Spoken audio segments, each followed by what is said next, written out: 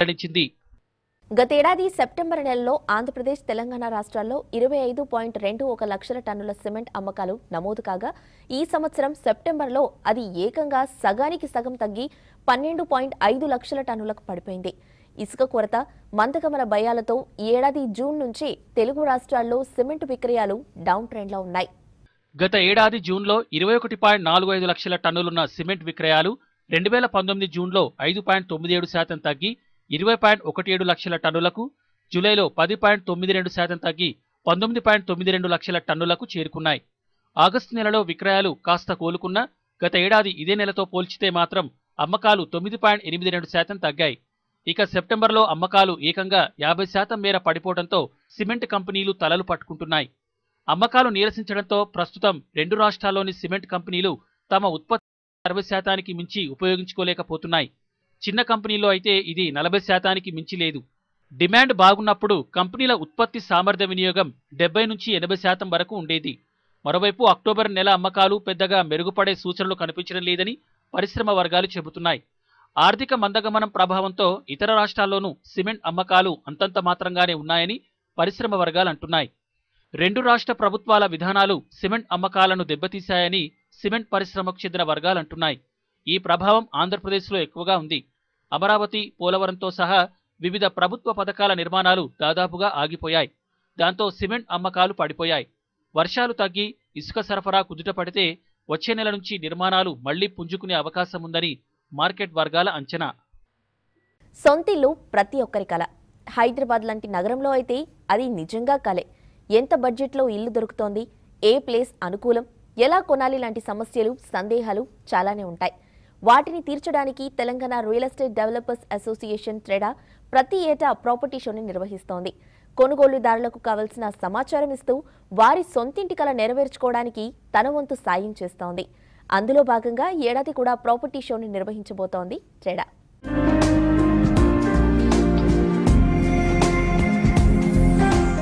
తెలంగాణలో real estate రంగం నిలకడగా అభివృద్ధి చెందుతుంది.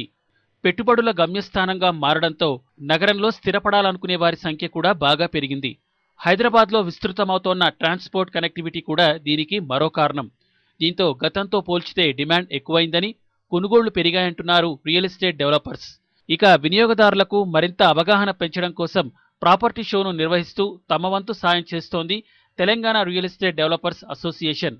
గత తొమ్మిదేళ్ళుగా ప్రాపర్టీ షో ద్వారా ఎంతోమందికి అవగాహన కల్పించిన ట్రెడా ఈ ఏడాది పదో ఎడిషన్ కావడంతో మరింత ఉత్సాహంగా ఉంది. మాంద్యం ప్రభావం ఏమాత్రం ఉండబోదని గతంతో పోల్చితే విజిటర్ సంఖ్య ఈ ఏడాది మరింత పెరిగే ఛాన్స్ ఉందంటున్నారు నిర్వాహకులు. లాస్ట్ నైన్ ఇయర్స్ ఎక్స్పీరియన్స్తో ఇది టెన్త్ ప్రాపర్టీ షో సో మాకు కూడా ఇది ల్యాండ్ మార్క్ ప్రాపర్టీ షో. ఈ ఇయర్ మాకు రెస్పాన్స్ చాలా బాగుంటుంది అనుకుంటున్నాం. ఎందుకంటే ఇంకా కూడా చాలామంది they are looking at Hyderabad as an investment destination మీకు లాస్ట్ త్రీ ఫోర్ మంత్స్లో అమెజాన్ గూగుల్ పెద్ద పెద్ద కంపెనీస్ వచ్చాయంటే when multinational companies are looking at Hyderabad lot of investors are looking at Hyderabad.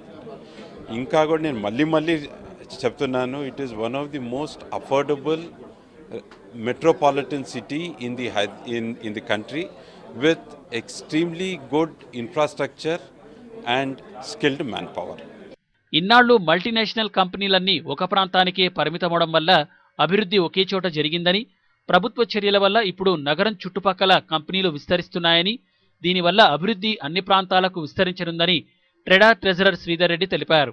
TS iPASS introduce చేశాక ఇండస్ట్రీస్కి establish చేయడానికి చాలా అవకాశం ఉంది. ప్లస్ సింగిల్ విండో క్లియరెన్స్తోని చాలా యూనిట్స్ వస్తున్నాయి.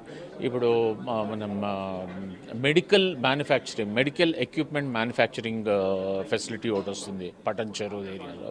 అక్కడ కూడా యూనిట్స్ ఆల్మోస్ట్ రెడీ అవుతున్నాయి నెక్స్ట్ ఏంటంటే మనం only IT IT allied services కాకుండా మ్యానుఫ్యాక్చరింగ్లోకి వెళ్తున్నాం కాబట్టి మనకి ఈస్ట్ నార్త్ కూడా చాలా బాగుంటుంది. మనం ఎప్పుడో జీనం వ్యాలీ ఎప్పుడో ఇరవై ఏళ్ళ కింద స్టార్ట్ చేసాము బట్ అక్కడితో ఆగిపోయింది. కానీ ఈ లాస్ట్ ఫోర్ ఫైవ్ ఇయర్స్ నుంచి గవర్నమెంట్ తీసుకున్న పాలసీస్తోని ఆ వైపు కూడా బాగా ఎక్స్పెండ్ అవుతుంది. ఐ థింక్ నెక్స్ట్ మూడు నాలుగు సంవత్సరాల్లో హైదరాబాద్ ఆల్ రౌండ్ హైదరాబాద్ మనం ఓఆర్ఆర్ కనెక్టివిటీ వచ్చేసింది కాబట్టి ఓఆర్ఆర్కి చుట్టుపక్కల పది కిలోమీటర్లు ఓఆర్ఆర్ అవతల వరకు కూడా ఇండస్ట్రీస్ వస్తాయి. దేశంలోని మిగిలిన నగరాలతో పోల్చితే హైదరాబాద్లో ధరలు తక్కువేనని డిమాండ్ను బట్టే రేట్లు ఉంటాయంటున్నారు Telangana real estate developers association president Chalapathi Rao.